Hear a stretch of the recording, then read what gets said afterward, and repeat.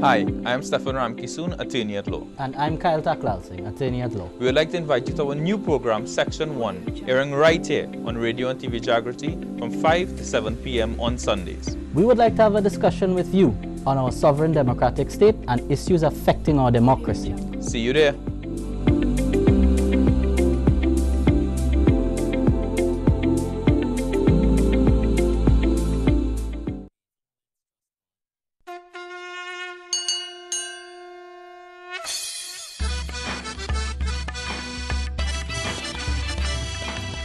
धर्म आपका station TV Jagriti.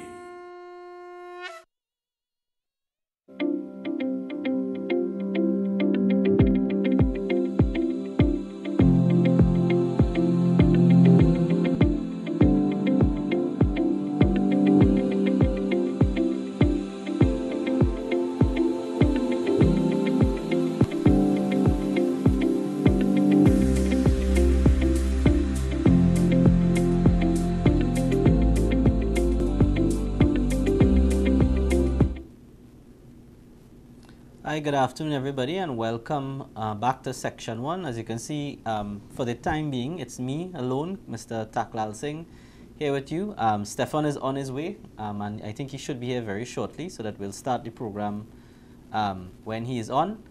Um, so, we have a number of topics that I think are worthy of talking about um, today. A lot happening in law, a lot happening in the rule of law, a lot happening in our sovereign democratic state. We had uh, a couple weeks ago, or about two weeks ago, we had the issue with OAS um, and the arbitration issue, which really hit the public waves. Essentially, the government losing uh, a case in a court of arbitration in London, whereby we have to now pay to OAS, the contractor, that contractor who was building the highway in South, um, close to $1 billion. Um, you know, 100, 100 and something million US, almost 800 and something million TT dollars because of a lost arbitration um, case. And really, when you look at it, um, when you look at what happened, it seemed to me that the government was trying to spin and put their own flavor and spin, as often governments do. That's part of their prerogative on the narrative about the OAS issue. Um, so we're going to talk about that. I, there's a little video that we did respect to that that really breaks down the issue. We have the issue of the Attorney General, Mr. Reginald Armour, that is really heating up the airwaves um, today an issue where um, Mr. Armour is accused of, how to put it, not being as forthright as he should have. Well, he's been accused plainly by the opposition leader of lying um, and misrepresenting certain facts um, to a court in the United States. Time will tell to see if that is true, and we await. And Mr. Armour, Armour has said, of course, that he has no comment on the issue, but I'm sure time will come out. Um, time will time will allow facts to come out, and if he has a defense, he'll put it in the public domain. I I don't have, have any finding per se, but there are some issues there that we need to discuss because there are some issues in the public domain there that I think are worth ventilating. Definitely. This is a sovereign democratic state, and in a sovereign democratic state, we have our freedom of speech, and we need to hold our um, public officials to account. Of course, you know, um, and just to say, I, I know that um, we have been off air for I think about two or three weeks. Of course, you had the Indian Arrival Day weekend, and then we have now returned under very somber and sad circumstances where Mr. Lokesh, who I think everybody knows, um, part of the Jaagriti team, um, unfortunately passed away, and we really like to give condolences to the um, to the family and to everyone um, who knew Lokesh. You know, we miss him here a lot. He was someone who was instrumental in our, in our own show, giving us our own advice um, on how to conduct our show. And I know that when Stefan comes, he would also have his own, um, you know, condolences to offer in that regard. Um, we have the OAS video, I think, ready. So what we'll do is now play that. Um, it's a short video. I already took the time to go through the OAS issue and explain to everybody what happened with that OAS arbitration and why I say I think that the, the government was wrong. You see, what happened is when it happened, the Prime Minister ran to Parliament to give a statement on it.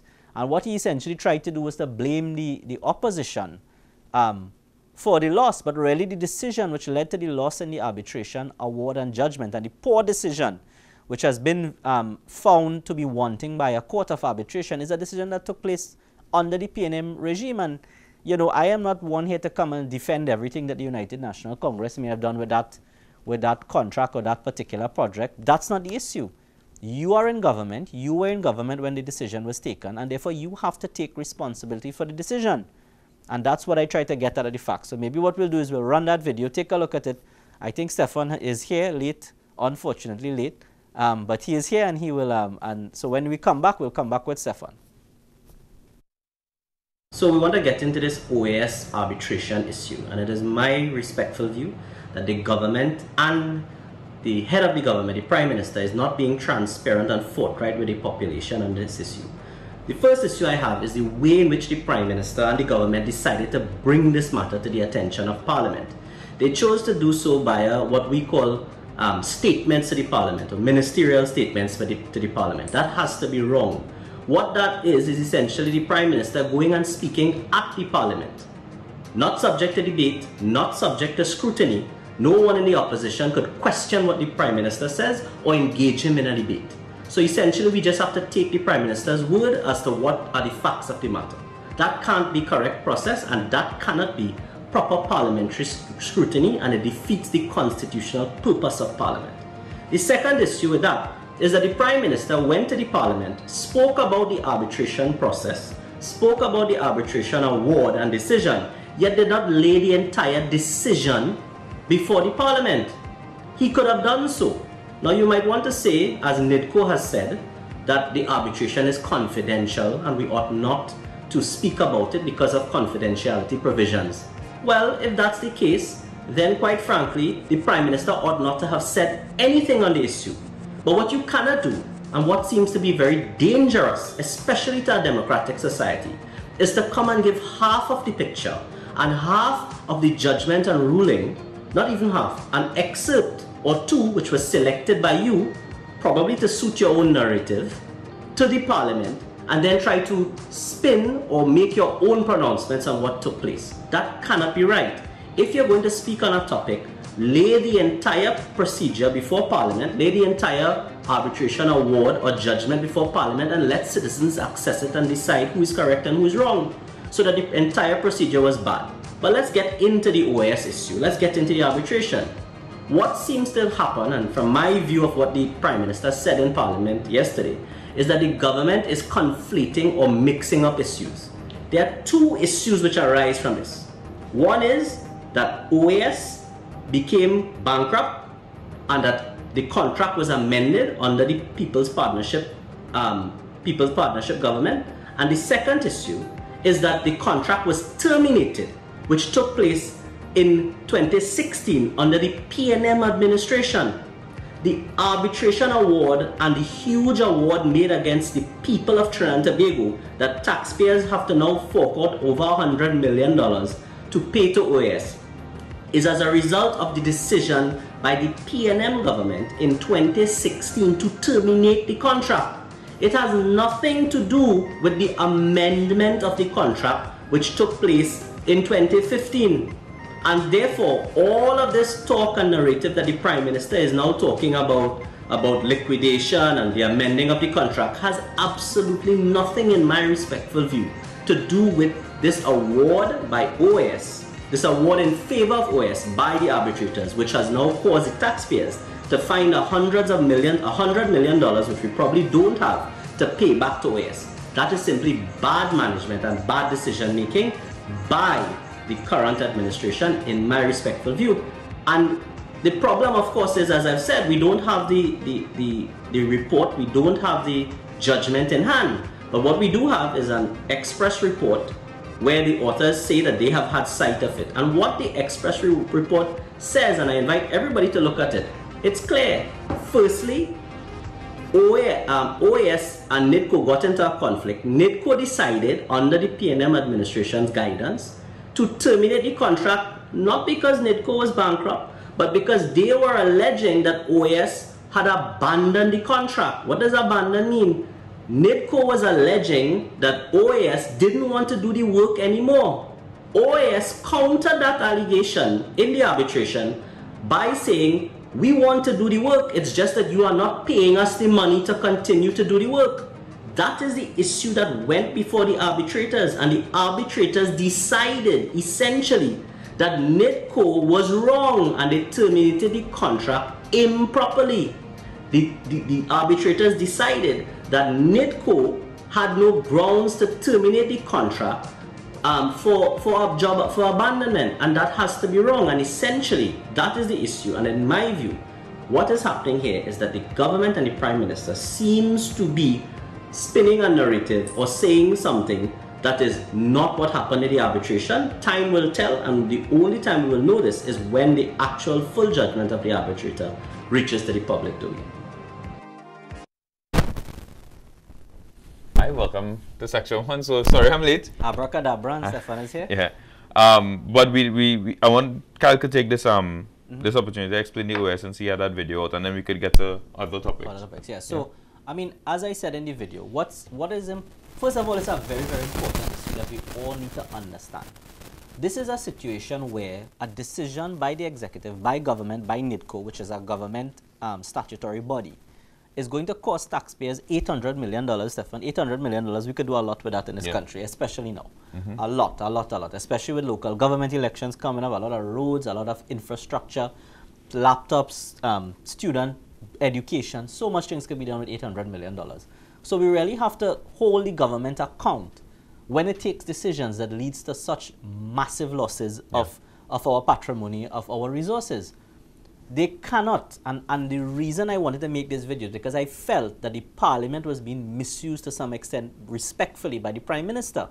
He went into parliament and he started to give a statement explaining this oas issue or purporting to explain this oas, OAS issue by talking about um, whether or not the unc amended the contract in 2015 and what that caused yes we understand you have a gripe that because OAS may or was going into liquidation and winding up an administration, that, that, that the UNC amended the contract to allow them to continue. But these things happen in construction. What did you want to happen? That the contract simply be abandoned? That's not the way you do business. That's not the way you do business. Especially for such a big project. And what exactly and what took place is that in 2016, OAS was saying that we are doing the work, we continue to Yeah. perform the work, pay us for the work that is being done. You countered that, or your your reason for terminating the contract was that um, work had stopped. It had nothing to do with amending clauses in 2015. Your reason for terminating was that according to you, work had stopped um, and that it wasn't being done and there was delay, right? And therefore you don't want to pay. And it went to court and the court found that you were wrong. And that decision to terminate the contract, I don't know why you wanted to terminate the contract. Is it that you wanted to terminate the contract for someone else to get the contract? Is it that you felt you had more confidence or preference to another contractor? I don't know. I'm not going to assume. But what I'm saying is, whatever reason you had, well, certainly the reason you put for the termination was found wanting by a court of arbitration. And whatever your reason you had, you now have to come clean with the country and say why you terminated that contract and say why we as citizens, taxpayers, and our children and children's children would have to be footing that bill for your bad decision. And that is the point we need to drive home. Yeah, Stefan. and I think um anyone who didn't say, I mean, I I don't think we need to add anything more to this OS issue. I think Kyle has dealt with it quite well in terms of the video that, that, that we did, and we um and our our production managers cut up very well. What I think um I want to remind anyone who who has not seen that video that it's on all our social media platforms: Facebook, Twitter, Instagram. Instagram, so on. Any have a- any any um we have a social. account? I think yeah, we do have a Twitter account. Okay, I- we, I, didn't know that. yeah, they have they have everything, I right? know, I know And, you um, have a TikTok. I, I wouldn't know what TikTok is. Yeah. You have a TikTok. Yeah, no one believes that. and um, so well, we're on all the social media platforms. So what you can do is, if you miss even this show or you miss the um, miss that video, which I think is very important, go look at it. Go look at it on any of our social media um, platforms and and let us know what you think. Leave a comment. Let us know because it's your comments that, that really fuel the show. See see where we go from here. So what we can do. Um, I know Kyle. I came. I came when you now came on, and um, and I heard you talking about um, Mr. Maraj Lokesh.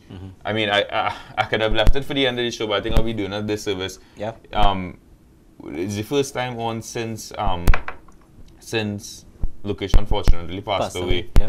And it's something. I mean, that one really touched me because not only was he young. I mean, he was our age. Yeah. Um, more your age, but um, but he he was our- he was our age and um, a very young person and.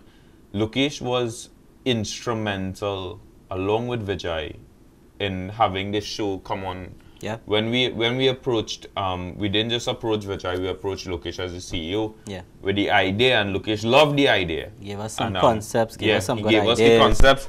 He um, I remember he said sitting down. Josh was there, Josh and Bimal, and um, and he said and he said he helped these boys design a set. We come up with Yeah, yeah. the yeah, Privy yeah, Council yeah. background. He looked at. I remember him looking Ah. at the shows and sending me little WhatsApps Yeah. and saying, you know, I think you all could do this and that, and yeah, really, you know, so he was improved. Yeah. he was somebody who um, I mean, of course, he had his hands on everything as the CEO. Yeah, uh, yeah. on um, Hard worker, eh, very yeah, hard hard worker. worker at radio and TV Jaagriti, but especially here at Section One. I mean, it, it, it we needed a little breakthrough from it because it was something different. Now walking past Lokesh office and knowing Mm. Yeah, yeah, knowing that he's no longer with us. I mean, it was tough even walking in just now. Had to stop and pause. So it's a tough thing. Um, of course, condolences goes out to his family, his um his young child, Yeah. um, his wife, Vijay, um, everyone, and all of the employees here at Radio and TV Jaagriti. So um, I wanted to say that before we move on because Lokesh was, as I said, very instrumental in getting Section 1 off the ground. The amount of work we had to do, um, Josh would know this, um, the amount of work we had to do to get off the ground. I remember Lokesh saying, um, so location just saying that's the best background they can get. But what's that? Yeah, yeah. They didn't they, they didn't actually know that was the Privy Council behind it. Was that wooden door behind there, boy? And two of them and two of them laughed at me and Kyle for a while until we had to explain the, the reasoning behind what we what we have behind us there. So um again, condolences to um to Lokesh's family and um and everyone here who I know he was very close with in radio and TV Jaagriti. C- certainly on part of section one, we would miss him a lot. Yeah, we would miss him a lot. And um, so uh, we will try to um to move on, keep section one going. The show must go The on. show must go on. So what I will do is um, let's take a break, Josh, and come back. We're gonna talk full. We will try to have a full discussion now about this topic with um with Senior Counsel Roger Moore, the Attorney General of Trinidad and Tobago.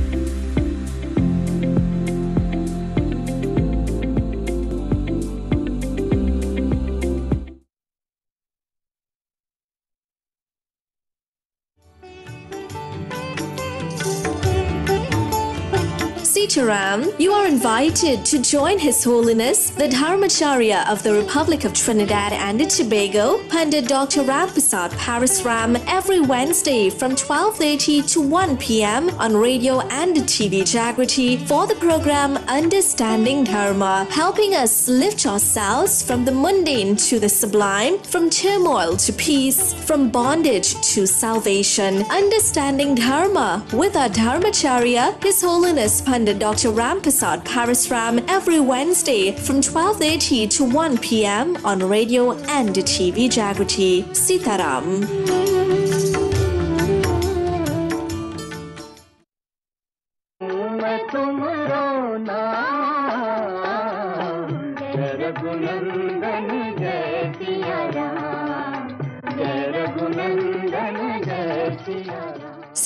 Sitaram, as we at Radio and TV Jaagriti continue to emphasize the importance of creating healthy and happy families, it's our pleasure to present to you the program Hamare Sukhi Parivar, Our Happy Family, every Monday from 12.15 to 1 p.m. with our Dharmacharya of the Republic of Trinidad and Tobago, His Holiness Pandit Dr. Rampersad Parasram. Pandit Dr. Rampersad Parasram is an experienced psychiatrist and former chief medical officer who has had a long history in the line of social work. Join with him as he shares and discusses issues and ideas on improving and enhancing family life every Monday from 12:15 to 1 p.m. live on the Jaagriti network. Sitaram.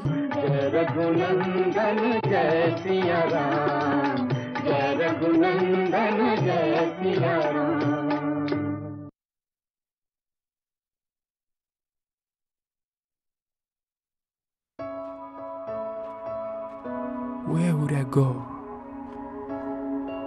if the world had no limits? If I could defy all boundaries?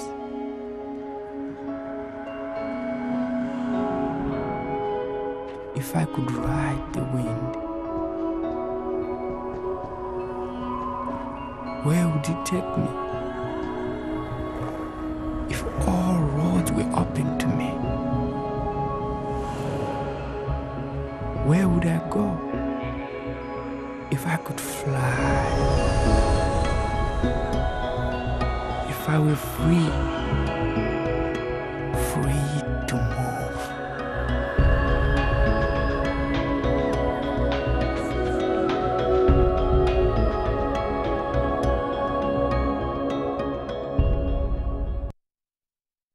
Join me, Harold Nabry, every Saturday afternoon from 4 for the program Suhana Safar right here on your favorite station, TV Jaagriti.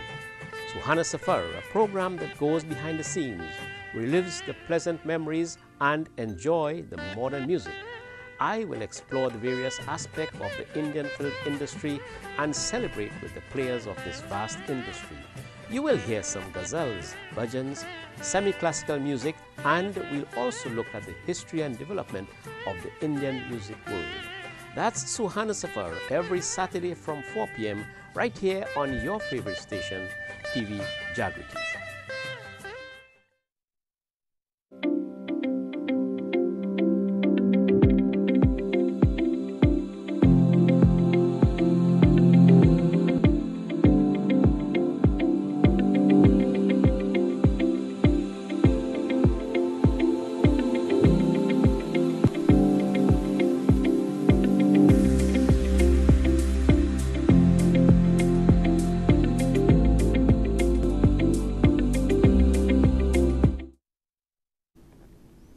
Yes, welcome back to The section, section. one. Um, so we have we want to talk about this issue with our, our honorable attorney general. There's a, and there's of course another video, another explanatory video that was done by um, Mr. Rambali as of this morning. Um, I think we've sent it to the production team, so maybe they could um they could upload that right. And Wait, then- while we are while we are while we we are started reading, the yeah. discussion, Um, so we have Josh, the can we can we pull up the release from June fourth?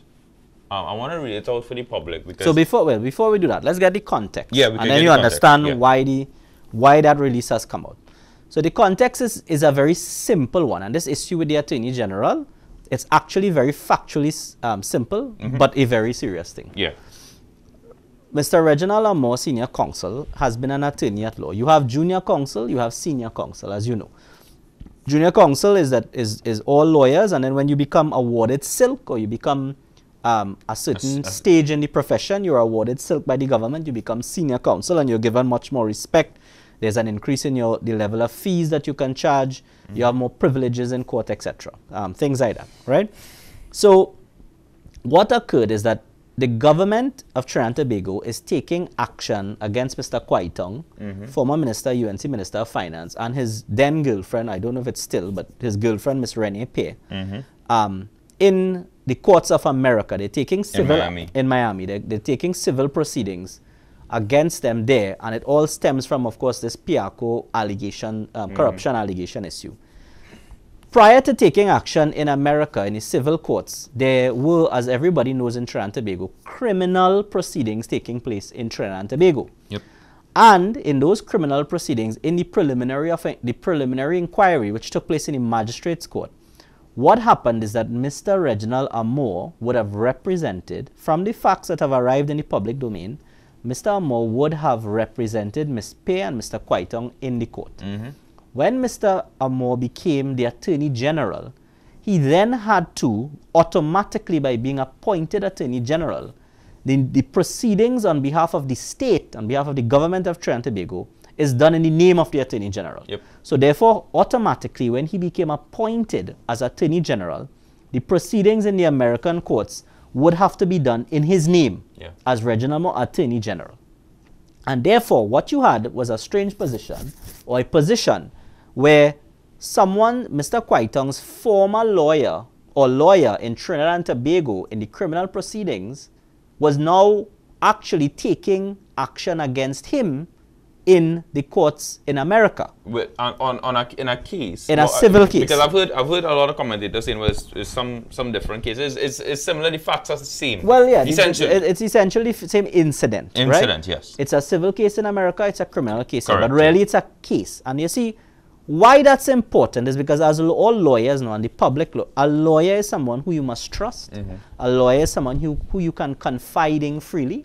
And a lawyer is someone that you have something called legal privilege. What that means is you could tell your lawyer anything and your lawyer is not supposed to go and disclose that information to anybody. There's a duty of confidentiality between a lawyer and his client, and a lawyer must always act in his client's best interest. And that's why you don't see lawyers suing their former clients, etc. Right? yeah. So Mr. Moore was appointed Attorney General. The proceedings were taken um, against Mr. Kuei Tung in America. Mr. Moore automatically came in. That's not so much the issue. The issue then occurs is that there's an application made in America um, raising the issue of Mr. Moore's potential conflict By the interest. Yeah defendants. So by Mr. White by and his attorneys. And then what takes place, again, what has come into the public domain is that Mr. Armour then goes and swears in an affidavit under pain of perjury. He, he, he swears an affidavit to basically say that at the time he represented Mr. Kuei Tung and Miss Pierre in Trinidad and Tobago, he was one, a junior counsel, two, he all that he did was to take notes. What has emerged since then? He has only attended one or two meetings. Yes. What has emerged since then is that both in Mr. Kuei Tung's affidavit in response in America and as a matter of public record through press releases, mm-hmm. etc., and I believe even the transcripts of what took place in the criminal proceedings in Trinidad have emerged. And what those things have shown is that Mr. Moore, firstly, was actually senior counsel at the time he was appearing for Mr. Quaitong in the magistrate's court in Trinidad. Yeah. And therefore, he was not junior counsel, he was senior counsel. So the representation made on the affidavit seems to be false.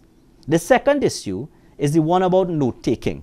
Now, every lawyer takes notes, there's nothing Yeah. derogatory There's about that, right? But to give the impression that you were simply a note taker, when you were acting from some for when you were acting as senior counsel in a matter, is also a misrepresentation because nobody hires senior counsel to take notes. take notes. First of all, and, but not to make light of it. In any event, as senior counsel, it has been shown that he made submissions, In the matter, written and oral submissions in the matter. And there has even been, uh, I saw a news article which has not been disputed in the public domain, where it was reported that Mr. Moore conducted cross examination in the matter. In order to do cross examination, Stefan, You have to properly prepare. you have to do properly everything. prepare, but you have Yeah. to con- you have to speak to your client Yeah. and understand fully what your client's defense and case is. Yeah.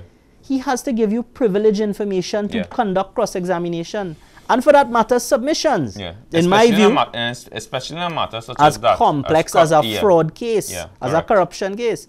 And therefore, what seems to be the case, and of course, Mr. Moore has decided to remain silent, and we await for his we await his full response to these allegations in the public domain, and we give him the benefit of the doubt.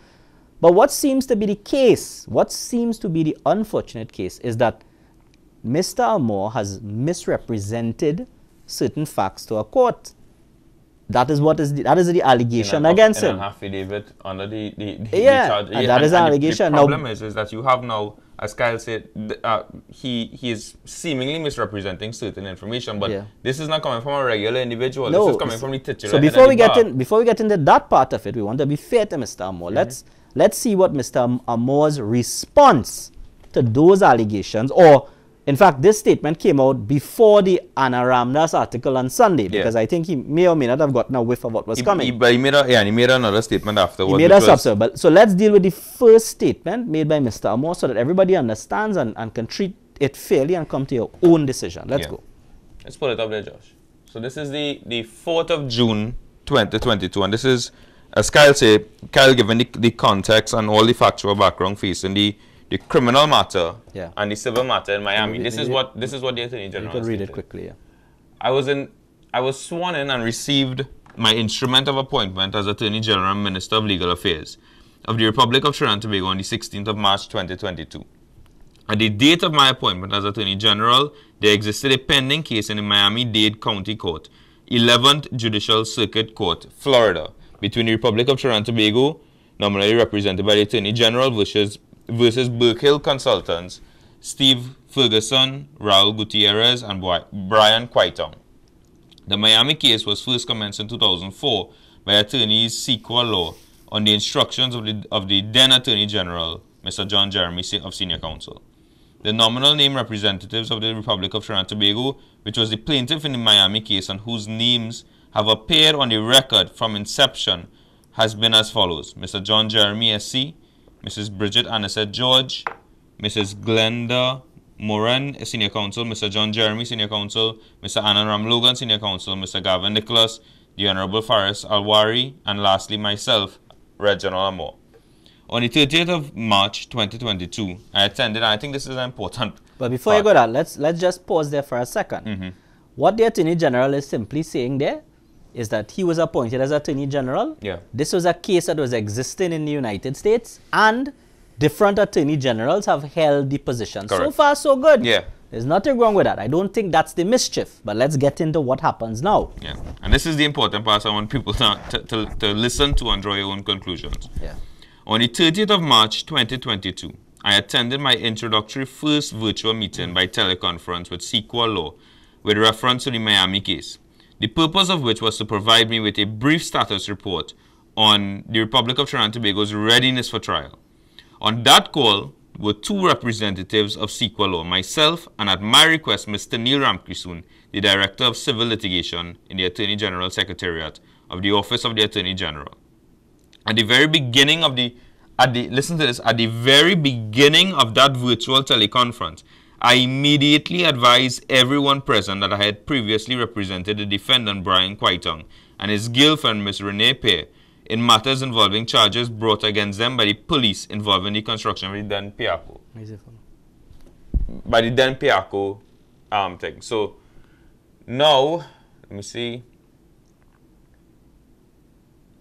We go I mean, I mean move forward. From that moment, I was walled off by Sequor Law from any aspect of the case other than case management duties. That is to say, logistics of trial, naming a person to attend mediation and to attend the trial, and payment of invoices, as well as with regard to Burke settlement, in respect of which I had signed a settlement document prepared by others in my capacity as Chief Legal Officer of Trinidad Tobago. As a consequence of my stated disclosure, I did not participate in any trial related disputes of any kind and delegated the continued case preparation to former Attorney General, the Honorable Mr. Faris Al Rawi and Mr. Ramkissoon. Yeah. So we can take it from there, Kyle, I think we can take it there. So essentially, what you can come back to us, Josh. So essentially, what the Attorney General is saying here, and we want to we want to give him his full defense. What he's saying here is that when he had the first meeting, he uh, he, he disclosed it to the lawyers and he was walled off, so to speak, right? Now, that's not good enough because what then emerged? We have the affidavit.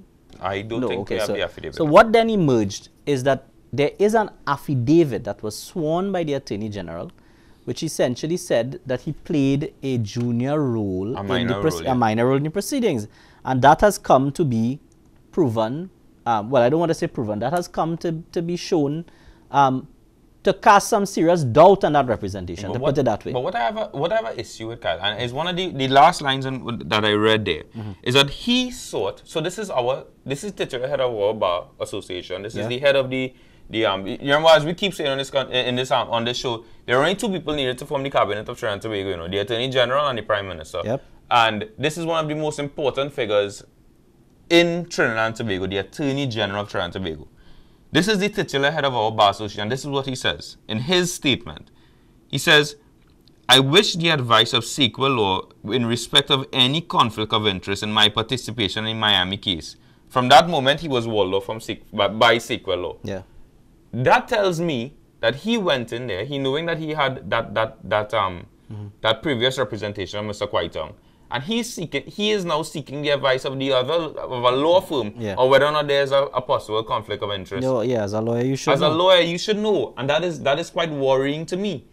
Yeah. Because as as And the I attorney want to- general, you should know that. I want to read because I have the affidavit on my phone, and I want to read the affidavit, which is at the center of this allegation, as to what Mr. Armour said on the affidavit, and this is important. At paragraph three of the affidavit, right? This is what is said. One second, yes. Paragraph three of the affidavit. This is what it said. For what I recall as being a few years at the start of the preliminary inquiry, next referred to, I worked as a junior lawyer to a leading senior counsel lawyer, Alan Alexander SC, now deceased, at the time of representing defendant Brian Kuei Tung and his girlfriend Renee Pierre in the preliminary inquiry in criminal proceedings in the Port of Spain Magistrate Court of the RTT concerning the criminal case brought against him for his alleged role in the planning, construction, and maintenance of the Piarco International Airport preliminary inquiry. My role as a junior lawyer was limited to minimal legal research and taking notes in the early years of the preliminary inquiry to assist my leader, Mr. Alexander S.C. And of course, what you had happened subsequent to that is Mr. Kuei Tung producing evidence or giving evidence to say that simply was not true. Yeah. Right? And it has come out also in the public domain that Mr. Armour was actually senior counsel at the time he appeared. And therefore, what seems to be the case is that that was a misrepresentation on an affidavit to an American court. And what's, what's concerning to me, and I say it very clearly, what's concerning to me, it's one thing, I mean, I have forgotten details about what I have done on cases that I did long ago. Mm-hmm. But I could tell you if I was acting for Brian Kuei Tung in the Piarco International Airport corruption case, Yeah. which is one of the biggest and most prominent cases in our country, I probably would not forget what I did in that case. Okay, maybe, maybe, maybe we're just small fishes in a big pond. Maybe yeah, know. maybe every week you have a big, big Piarco case, we airport don't case. I don't don't know. But you know, and the point is, it seems to me, quite frankly, my opinion, unlikely that someone would have forgotten their role. Agreed. And therefore, I really do have a difficulty with what is taking place. I also have a difficulty. I don't know if the video has been loaded now by Mr. Rambally. Not yet. All right. So what we'll do, what I have a difficulty with is that the law association, you know, we, we are all members of the law association, FM, but the mm-hmm. executive and the council of the law association are really not taking this issue seriously. I mean, more than a week has passed since this allegation has broken. People are losing confidence in the profession of law. They, they're wondering if this is what lawyers do they, because the attorney general is the head of the lawyer, the, he- the titular head of the bar, is the representative head of the bar of lawyers in Trinidad and Tobago. This Yeah. is our leader. Yeah. And No, it this is what he's accused of. It seems it, it seems I I am just um I just I, I get notifications on my phone all the time from um from Well, it seems that the law that there's a motion that's different to what the law association. the- from what the the law law association is different. Well, the law association is run by an executive. The Correct. executive could take a decision to make statements. correct yeah The it seems as though there are a group of lawyers who are moving a motion to summon a meeting, but that's different from, From the law executive and the president of the law association making a statement on this issue and considering it. And more than enough time has passed. Why can't you summon a, why can't you have an emergency meeting to discuss this issue? I really don't know. So what we'll do is um let's take a short break. Let's Yeah. take a short break and we'll come back and we'll look for that video and see if we could play that for you.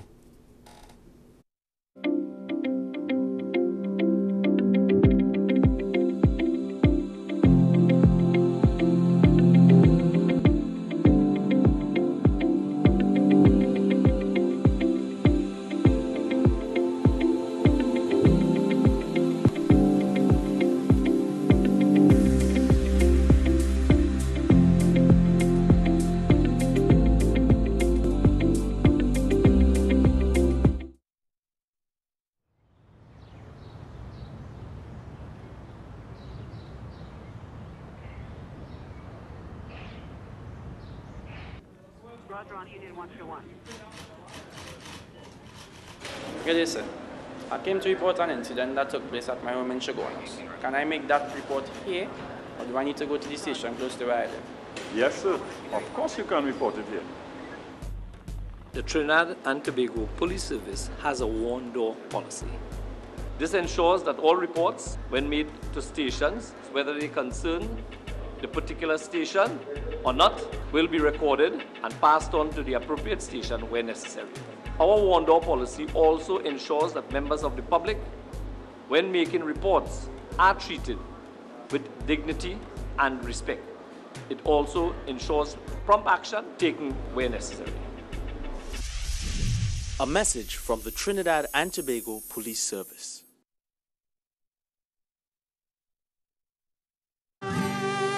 Sitaram, I am Sharvani Sukhai inviting you to be a part of my television sensation, Bollywood's Best on TNT's Best TV Jaagriti. Tune in every Sunday morning from 10 to 11 as together we count down the top 10 biggest and best Bollywood videos of the week, check out the latest movie previews, and of course, what's trending with your favorite Bollywood celebrities. It's the only of its kind on national television, so don't miss it.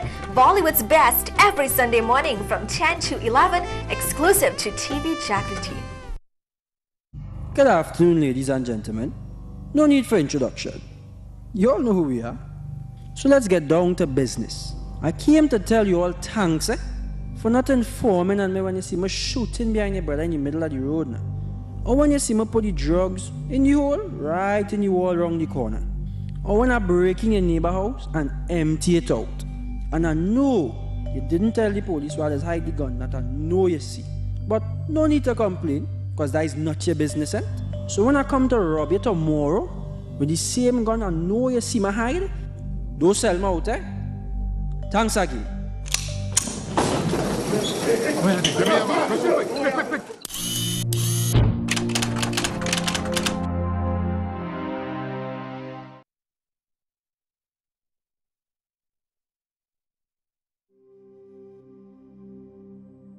Yoga is the world's most ancient form of physical exercise and has originated in ancient India in the Himalayas.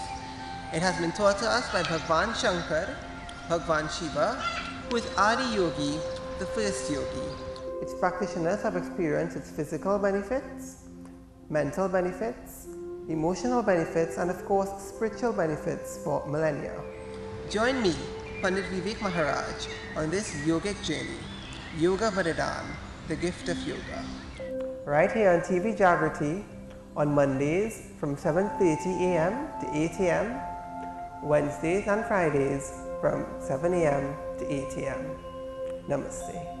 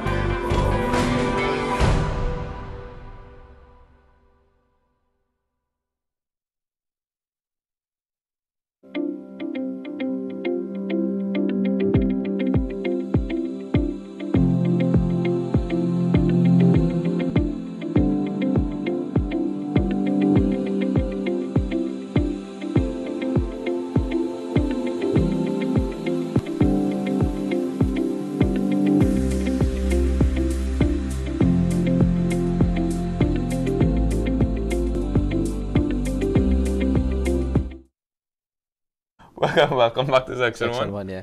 Right, so, what we could do is probably open the line 6632335. Yeah. Let's Um, open let's, the line. Let's open the lines, Josh. If anybody has any calls, I'll, I, I saw there was some um some comments on on Facebook. I think we will actually, Kyle, we could we could answer this question quickly. Hmm.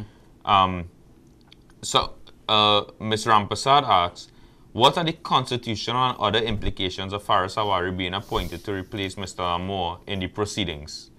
So, Mr. Faris Al So oh, you mean yes, yeah, yes. So, so- so subsequent. they- they- they well, were- they were a bit confused. Well, I'm guessing, a, Mr. that's a question they'll have to answer whether it could be done because Mr. Yeah. Al Rawi is not the Attorney General, and the Constitution says that it is must be the Attorney General who brings um, matters on behalf of the state and represents the state in legal proceedings. There's also the State Liability Act. Yep. And therefore, there's, there's going to be a serious question as to whether or not Mr. Al Rawi, who has a certain portfolio to, um, I saw him doing an excellent job um, trimming some vines on a, on a pole or something Yeah, like that. yeah, he looked good doing it. He looked good, yeah, well, Yeah, yeah, yeah, Well done, well done to him. Um, attacking his new job with some gusto. I think I saw one commentator say. But, um, but, but you know, uh, whether or not he can fulfill the, the constitutional role of an attorney general, not being appointed in position, and certainly not being gazetted in that position, because the gazette will normally Correct. define the roles and responsibilities of each person. Yeah. The Gazette, of course, has to follow what the Constitution says. Correct. It can't do something on its own. So I am sure if I was a lawyer, I would be challenging that in America as to whether Yeah. or Because the minister, the the minister of local government represent the Yeah. um, the state of Trinidad and Tobago is It's not ideal. It's well, it's certainly on, not ideal. Well, I've never heard about it before. Yeah, yeah. So the lines are open. Um, six six three two three three five six six three two three and, and you know, uh, and essentially, what is at the heart of this issue? Uh, I think that everybody should understand. You had an attorney general who is responsible for maintaining the rule of law. He is the titular head of the bar, the head of the legal profession. He's also the attorney general of the country. Majority. And therefore, any representations he makes to a court must be genuine, authentic, and must be done in, Yeah. in, in good faith and good form. It is clear what has happened here is that the Attorney General, it seems to me, has made representations which are at the least inaccurate. Mhm. At its highest was a deliberate misrepresentation. At its lowest, it seems to be that it was inaccurate. And how are we going to repair this? How are we going to repair our image? In my view, it may be the Attorney General would have to think about stepping down, and certainly the Law Association has to get involved. And I think we have a video by Mr. Rambally which talks about that Law Association issue. Let's let's get to that video.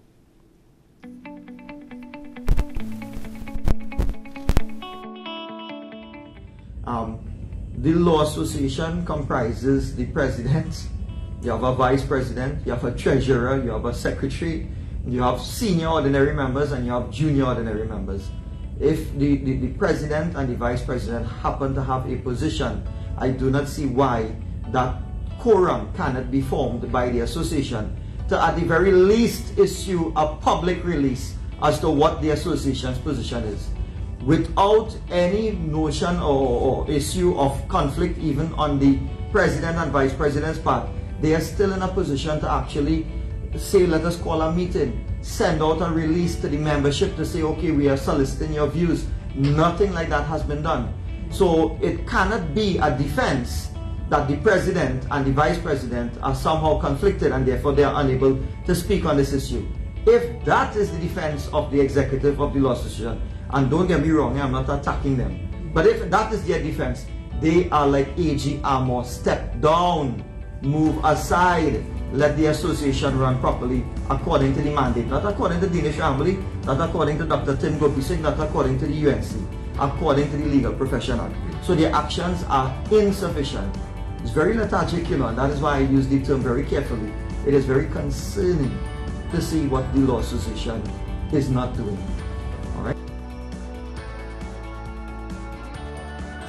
And that that I think puts it puts it in a nice perspective. Mhm. The law association is sleeping. You're sleeping at the wheel. The profession, the image of the legal profession is going to hell in a handbasket. Basket. The the administration of justice is affected. The confidence in the legal system is being affected. It's been a week of silence. Proceedings on behalf of the state yeah.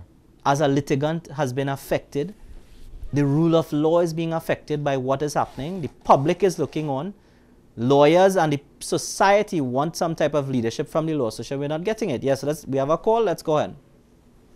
Hi, welcome to section one. I think we lost that call. Yes, we did. Yeah. All right, we'll keep going. Yeah, so as I said, this is a very serious issue. The law association needs to take uh, action. I think that the newspaper is reporting that a motion is being circulated by members. That is in the executive. Again, that is the wider membership. And, and lawyers will have to decide whether they signed it. We have a call. Go on. Welcome to section one. Okay, good afternoon. Good afternoon, and Sitaram to you all. Sitaram. Sitaram. Right, this is section one, right? Yes. Yeah. Go ahead. I want to share my view. I am a bush lawyer, Right. and I am Like seeing Faris. some parallel- Yes, yes, yes. He, he's a, a, Well, in the bush, a and he's a good- lawyer. right. Yes. No, I am seeing some similarities with this fiasco and one with QC Nelson, who was uh, basically give a legal opinion to prosecute a Malcolm Jones issue, and then he switched and gave a, another legal opinion to pull back the case. Your memory is very good, caller. Your memory is very Yeah, good. that's what I tell you, a bush lawyer. Yeah, yeah. Now, listen to this. The first one with Tuesday Nelson, the main objective is to pull the case. This strategy, I believe, is not to pull the case, but to damage the case to give you the same outcome. Mm. Yeah, all you have to remember, my memory good you enough. Those fellas But we had to watch. We had to watch some of those comments. We can't make those kind of allegations No, directly. no, no. No. I am saying as a bush lawyer. Yeah, you saying that Yeah. this, this is your view from what you're seeing, right? Right. Yeah, okay, all right. and I am saying there is something. More, something More more, in the more in the motor. more. Yeah, understood. Remember these fellas from the incarnation and the genesis were PNM people. Yeah. And the Brotherhood of Wrongdoers and the Cosa Nostra. 25 years later. I see that you're they following your, rekindle- you're following they your UNC. relationship. I see, caller, that you're listening to the UNC meetings, the Cosa Nostra. Yeah, so- but you understand what I'm saying? I understand, I understand. But we have to rekindle be relationship again. understood. We have to be careful. The Right, right. I, I ain't calling no names, you know. Agreed. But I only call one name, QC Yeah, Nelson, and that is in the public domain. Fair enough. fair enough. Everybody know exactly what it is.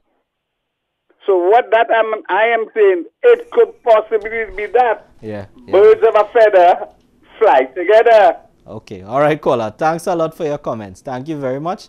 Um, you know, I can't blame the caller. He's drawing parallels um, At the end of the day, incidents. we have a freedom of speech. We you know. have freedom We of speech, and he's, he's, he's, he is free to connect the dots as he sees fit in coming to his opinion, right? Um, any other caller? All right, well, I think we may have to wrap it up Yeah, there. let's wrap it up there. Six, yeah. Um, so we thanks for joining us here at section one. We have a we have we, we apologize for missing a couple of weeks as we said with us in Well, we hope we made we, we hope we made this um, these issues a little clearer. We'll definitely be picking it up because we'll see what will be happening over the next week. I'm sure these issues, this issue with the Attorney General probably won't go away. It might even heat up this week. yeah So um, we'll be back next week, and um, we'll see you then. we will see you then. See you.